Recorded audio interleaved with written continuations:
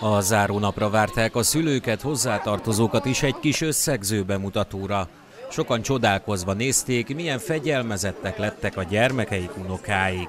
A Magyar Honvédség 2016 óta rendez honvédelmi táborokat diákok részére 12 és 18 éves korosztálynak van ez megnyitva.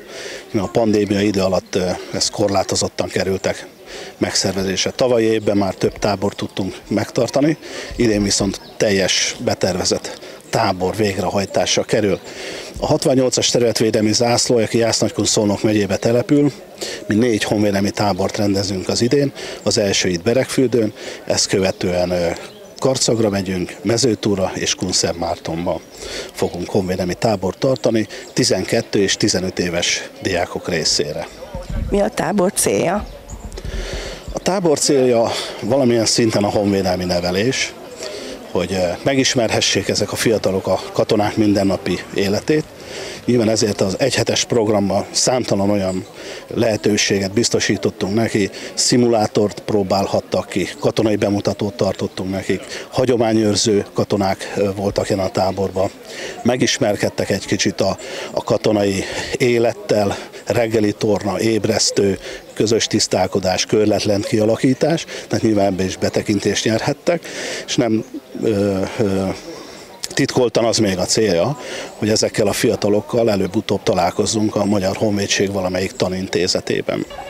Amikor elfoglalták a körletet első nap, megrettentek a gyerekek a katonai sátraktól, vagy azért tudták, hogy hova érkeznek?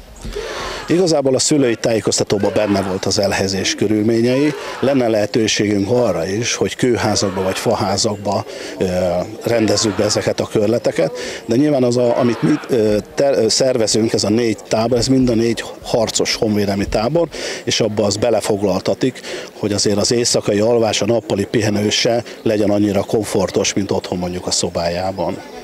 Itt említette a kis kiképzéseket, meg egyebeket, tehát mennyire mélyen láttak bele az elő, előadásokban, meg a bemutatókban, gondolom igen, de, de ők mondjuk itt mondta, hogy volt reggeli torna és egyebek, tehát azt a kemény katonai életet is megtapasztalhatták, persze az őszintjükön.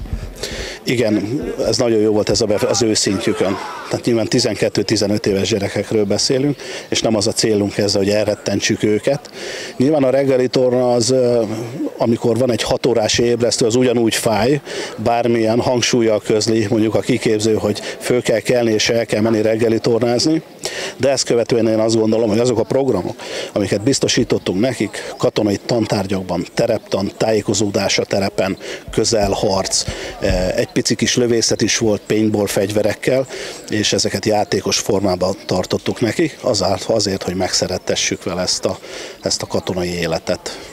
Karcagon kisviszálláson is van már karétképzés, tehát elképzelhető, hogy lesznek olyanok, akik ebben részt fognak venni a tábor hatására.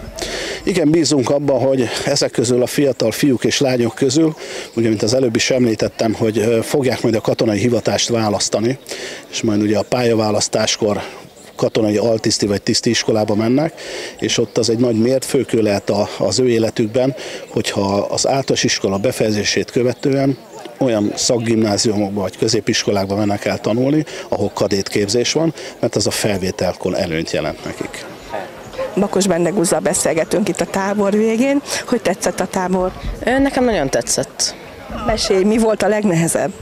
A legnehezebb az nekem a koránkelés. És milyen program ragadt meg benned, ami úgy nagyon újdonság volt, vagy nagyon tetszett?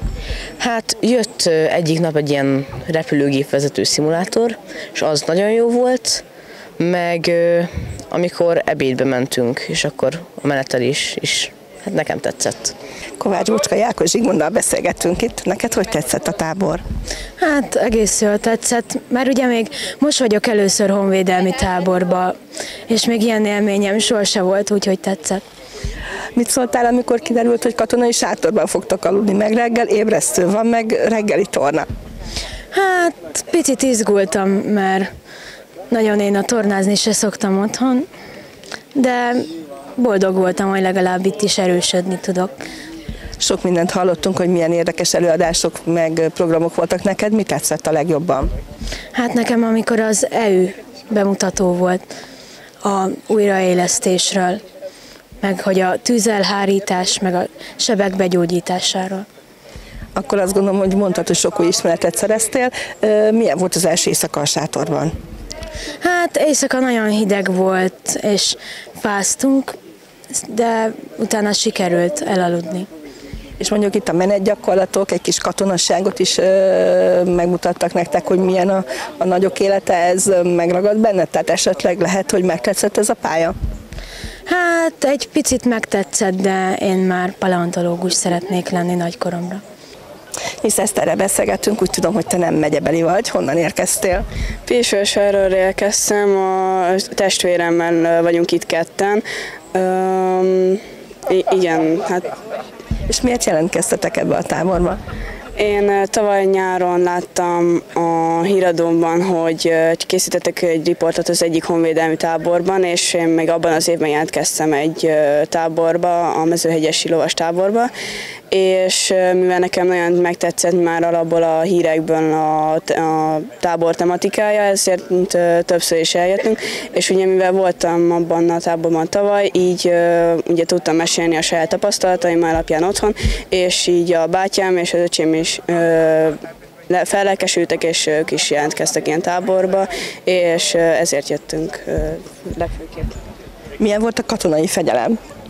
Hát az elején, ugye, mikor még nem rázódott össze a csapat, nagyon nehéz volt összeállni, sokat kellett, sokat kellett állni, még kiigazodtunk a sorban, meg megtaláltuk a saját helyünket, de a végére már egészen összeszedtük magunkat, és, és jól is mentek az alaki dolgok.